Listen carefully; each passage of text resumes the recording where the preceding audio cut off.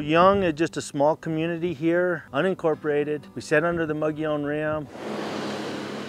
We're located about 150 miles out of Phoenix, about an hour and a half, two hours to Globe. We're 63 miles from Payson. Real pretty, in my opinion. Seems to be one of the last places in Arizona. What makes it special for me is just the countryside that I was raised up as a kid. I lived uh, kind of a Tom Sawyer type life here in the creeks. The town itself, the way we're kind of sprawled out, it's open. We have dirt roads coming into to Young from both the ends. I'm a country boy, raised here all my life. My whole ambition in life was to get back to Young and live here, and I accomplished that. This building was built uh, late 90s, first part of, of, 2000, and there was two office buildings that sat below, below here, down, down the hill a little ways.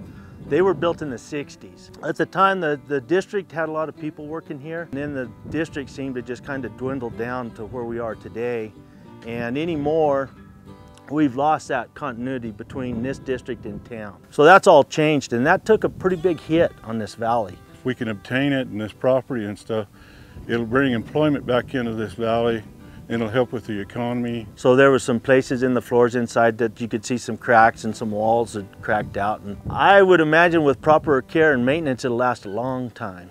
I came to the Forest Service, the district ranger that was here, and I was looking for a, a local office that we could have here in Young. And so I talked to her about possibly having an IGA set up with one of these offices in this building because there wasn't many people here. Well, the conversation what led to was, well, we don't want to rent you an office, but we'll rent you the whole building. Their foreseeable plan was to take and try and auction off or sell some of these buildings, and then whatever was left, they were just going to bulldoze and haul out. And so if that would have been the case, this building and some of the other ones you're going to see today would be gone. All that would be cleared back up and it'd be turned back into grass. I don't want to talk about that. The facilities are here and uh, the opportunities are unlimited. I mean, we could have archery ranges, we could have trails they could hike. The community is, is not for tearing any, anything down here. They've seen the money that's been put into this admin site from a taxpayer standpoint. They see the value in it. We started leaning towards veteran programs and uh, services in which our town has a lot of vets in it. We're tight knit. We're all, we all back each other. I mean, it's anything to do with vets, they're about we back each other on it. Uh, we're like you say, a pretty night. Authorities to transfer and ownership on lands is there. It's a matter of getting the coordination between everybody and getting it all set down and and and figured out. Uh, I've I've come a long ways in that process so far. Well, if you've ever been in the military and you depend on your buddy that's beside you, that's kind of the way the tightness is here. We depend on each other. We work together. So one of the prospects we're looking at is veteran re retreats. It would mean the world to me because uh, being a veteran myself and having a place that, you know, that you could go to and the camaraderie and, and, and uh, just be secure in the fact that you've got a place you could go to and people you could talk with.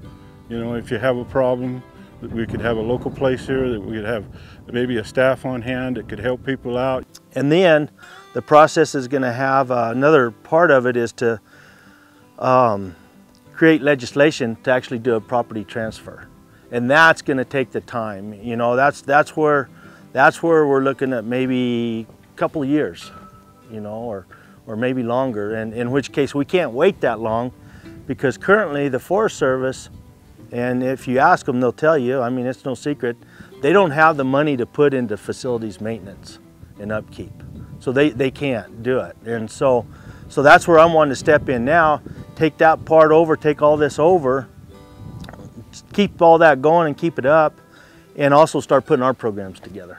If we had a place like this, this would be a place they could come to and be welcomed with open arms and to assist them in any kind of problems that they have. So it means a lot to me and the rest of the veterans here in, in Valley. It's kind of a shame we've come to the point where we have with this, and, and to me this is just a huge way we can try and keep it intact and repurpose it for what's here, because there's a ton of money put into all these buildings. And I feel like it's a it's going to be a huge plus for the community. It would just benefit us immensely to be able to have a place, a hub place to work out of. We've got an agreement out of the state of Washington um, that fits this perfectly. And they did basically the same thing up there. They're about three steps ahead of us. So we're looking at that agreement and, and have to change a few things in it, but not much. So it's already been through the lawyers, it's been through everything, and so it's pretty well ready to go.